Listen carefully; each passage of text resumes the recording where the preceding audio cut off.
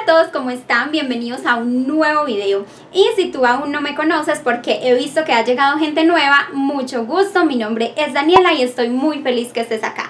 Así que como lo pudieron ver en el título, hoy les traigo una reseña de mi agenda de este año, que por acá está, es de la marca Cute. Les cuento que esta agenda está divina, si la del año pasado a mí me gustó, la de este año me gustó el doble. Y además de eso les traigo una explicación muy corta, muy breve de cómo realizar tu propio mapa de los sueños. La agenda la había comprado hace unos días atrás, pero no había tenido tiempo de hacerles la reseña, así que bueno, estamos apenas en febrero, esto apenas está comenzando, así que sin más preámbulo, empezamos con este video.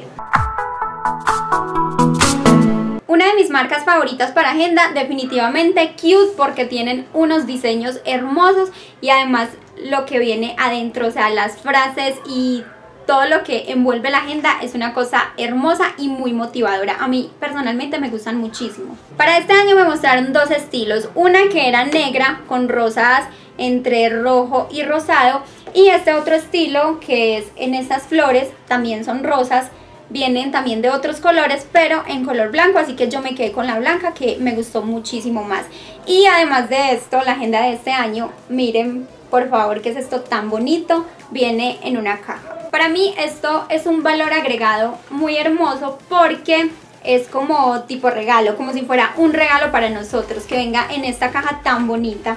Y adentro, la agenda por supuesto, que es esta en la misma temática.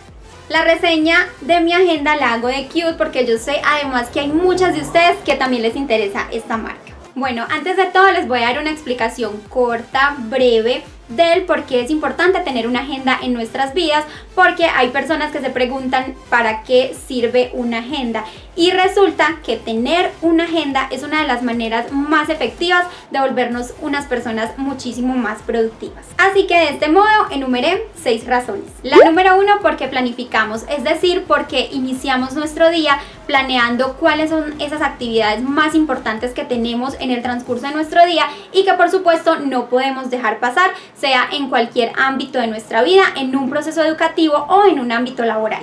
La número dos es porque nosotros establecemos un horario siempre para nuestras actividades y esto aplica para todo, ya sea para un proceso educativo, ya sea para nuestra vida personal o para nuestra vida laboral. La número tres es porque nosotros comenzamos a definir prioridades, cuáles son esas tareas más importantes o cuáles son esas tareas más complicadas que tenemos en el transcurso de la semana. Y de esa manera tal vez a nosotros nos resulte mucho más sencillo realizar todas estas labores. Número cuatro es que tener una agenda nos da una idea general de cuáles son las cosas en las que nosotros estamos invirtiendo nuestro tiempo y además de eso nos ayuda a saber qué tan saturados estamos para realizar nuestras actividades cotidianas. 5 podemos agrupar nuestras tareas para comenzar a darle mucha más prioridad a todas nuestras actividades. Y la número 6 es que no nos saltamos de una tarea a otra, sino que vamos a tener un mejor control de todas ellas. Así que bueno, después de esto, ¿quién quiere comenzar a verla? Ah, yo sé que sí. Ah, bueno, comenzamos con la frase de la pasta. Esta es la que trae, dice la misma frase que la del año pasado, dice no mires al pasado, no mires atrás, el futuro es adelante. Miren esto que trae por acá tan bonito, la del año pasado no tenía y estos papeles a mí me encantan porque es donde podemos anotar nuestras actividades o algún recordatorio que tengamos y lo mejor es que traen como su propia pega y lo podemos añadir a nuestra agenda, así que bueno, este año trajo esto por acá y a mí me gusta un montón. La temática de esta blanca es en rosas y margaritas. Yo recuerdo que la del año pasado para cada mes tenía una temática diferente. Para la de este año se conserva el mismo estilo para todas las hojas y para todos los meses. Y esta es de entre rosas, margaritas, rosada y bueno, con blanco. También está con negro. Por este lado de acá dice Memories. Entonces por acá agregamos como nuestras memorias, tarjetas, bueno, acá podemos eh, poner un montón de cosas que nosotras creamos que son importantes. Aquí lo agregamos y trae como el espacio. Está bien bonita y lo de siempre, los stickers. Con frases súper bonitas, motivadoras. A ver, yo miro qué puedo traducir. Bueno, por acá dice amor, em, amo esto, vamos esta noche, día libre, esta es mi vida, sueña más. Así puedo traducir. Dice, eh, no olvidar, recuerda, importante, vacaciones, días libres. Entonces todos estos stickers también los podemos agregar a nuestras actividades, a nuestro planeador semanal. Esta página de acá me encantó mucho. Esta dice, recorta y completa el tablero de tus sueños. Ahora más adelante les voy a explicar. Les voy a hacer un breve resumen de qué es un mapa de los sueños y cómo lo podemos hacer así súper fácil. Así que bueno, por acá nos regalan una hoja para recortar y para decorar el tablero de los sueños. Por este lado de acá dice inspírate con cute, recorta, regala o comparte. Entonces nos regalan como pequeñas tarjetas que nosotras podemos llenar, podemos recortar y podemos compartir con alguien. Es que es linda, ¿cierto? Es muy bonita, me encanta. Bueno, y llegamos a esta página de acá, miren esto tan bonito, esto también es un valor agregado muy bueno. Dice, crea tu propio mapa de los sueños para el año 2020.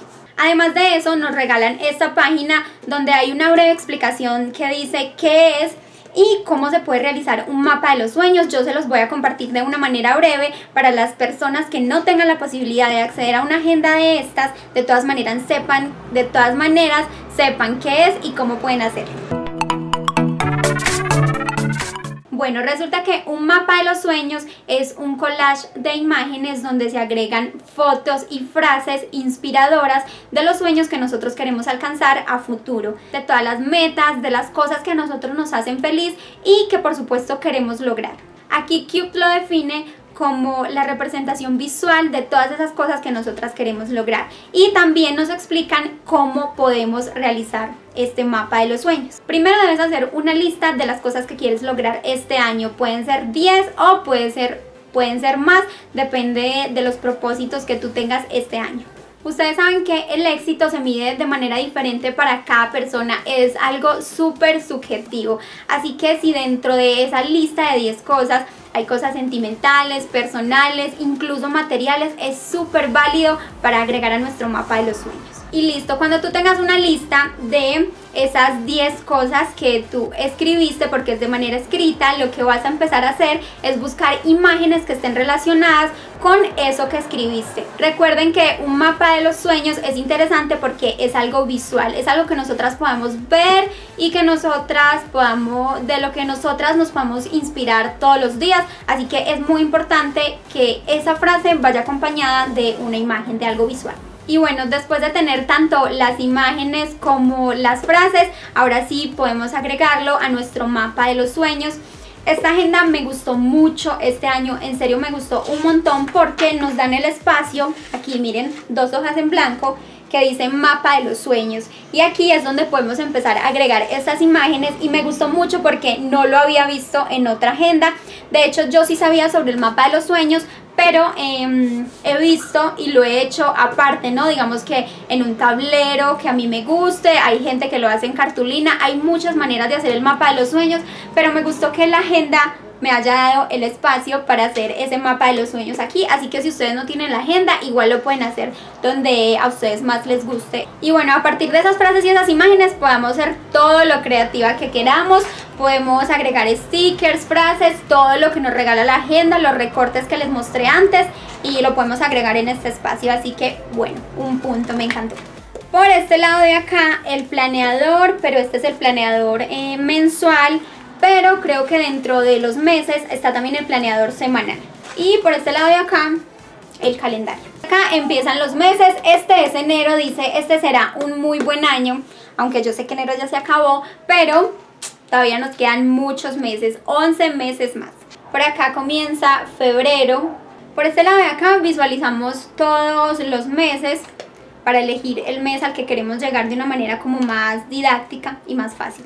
Por acá está marzo, Hábleme de esto, por favor, en negro. Y por acá está su frase. Y bueno, así mismo todos los meses se los mostraría a todos.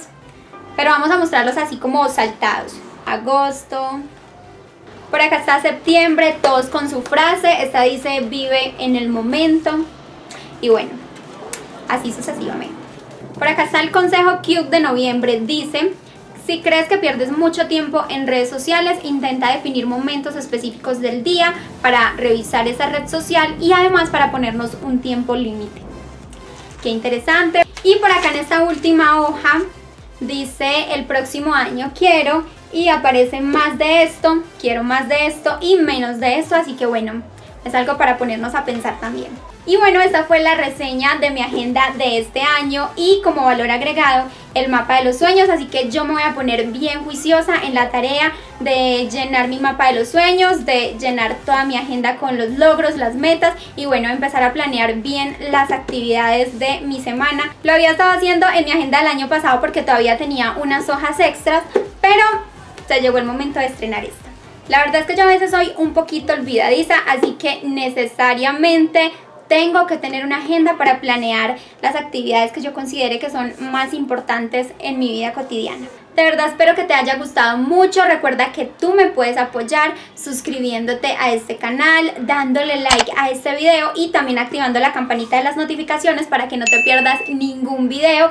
Recuerda que también me puedes dejar allá abajo en los comentarios si te gustó esta agenda, si te gustó la idea del mapa de los sueños, y si ya conocías de qué se trataba un mapa de los sueños, me puedes contar todo eso. Y estando en el ámbito que estemos, esto se convierte en un planeador de nuestras actividades.